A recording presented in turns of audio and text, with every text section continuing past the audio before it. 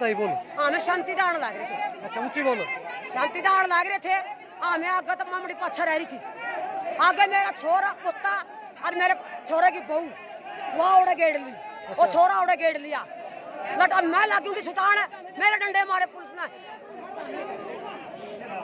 Gent ने भी और लेडीज़ ने भी। मेरे गला थपाई करी है भाई।